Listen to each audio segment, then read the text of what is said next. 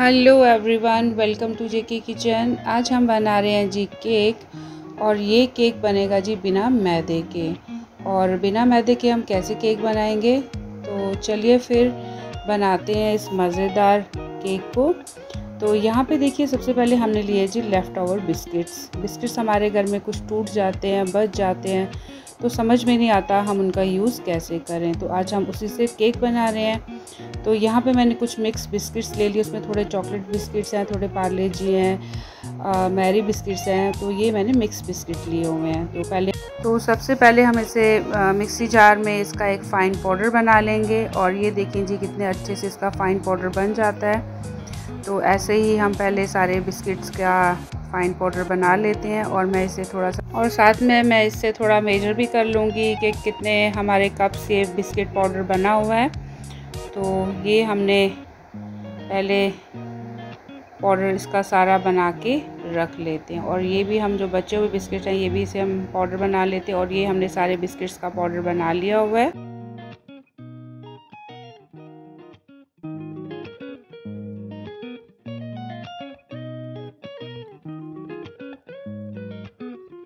और ये देखिए बिस्किट्स का पाउडर कितने अच्छे से हो चुका है। इसके साथ ही चीनी ऐड कर रही हूँ मैं। चीनी मैं इसमें दो तीन चम्मच ऐड करूँगी क्योंकि ये बिस्किट ज़्यादा मीठे नहीं थे। तो चीनी अपने टेस्ट के अकॉर्डिंगली आप डाल सकते हैं। और इसके साथ ही मैं डाल रही हूँ जी एक दो चम्मच ऑयल के। आप चाहे तो इस बटर का भी इसमें यूज़ कर सकते हैं। और इसके साथ ही मैं अभी डाल रही हूँ जी एक कप दूध का।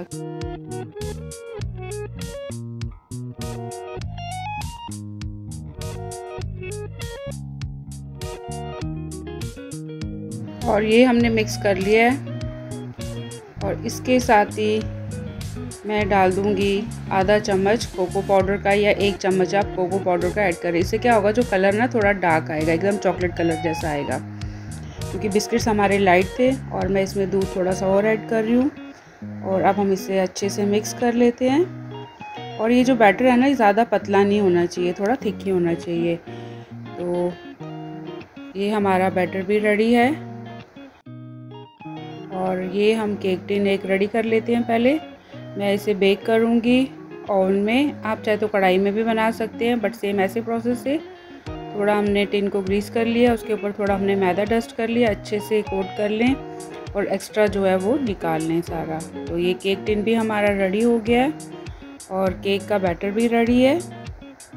तो लास्ट में हम इसमें ऐड करेंगे बेकिंग पाउडर आप चाहे तो इनो का भी इसमें यूज़ कर सकते हैं। मैं इसमें आधा चम्मच बेकिंग पाउडर का ऐड कर रही तो अब हम इसे मिक्स कर लेते हैं।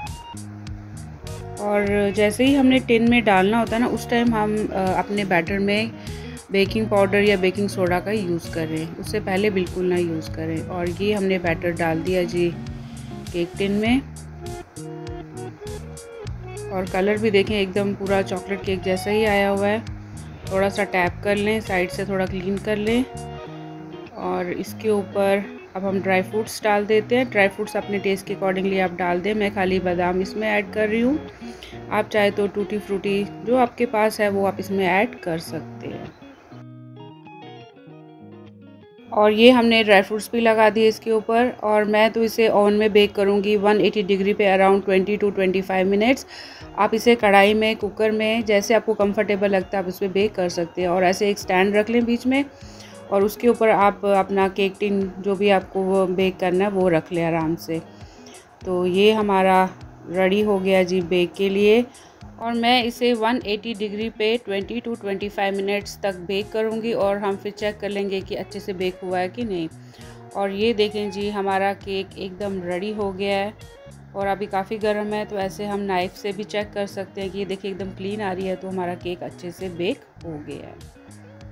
और सच में इतना टेस्टी बनता है ना कुछ कुछ टेस्ट तो इसका ब्राउनी जैसा आता है और बहुत ही सॉफ्ट स्पॉन्जी बना हुआ है। और ये हमने प्लेट में निकाल लिया। अभी भी गर्म है ये। और देखिए इसे हम कैसे आज खाएँगे। और जब आपका केक थोड़ा हल्का हल्का गर्म रहे ना, इसे हम पीसेस में कट कर लेते हैं। देखिए अभी भी गर्म है तो थोड़ा टूट भी रहा है। और ये मैंने इसको ऐसे पीस में कट कर लिया है। और इसके ऊपर अब हम ऐड करेंगे जी चॉकलेट सिरप को।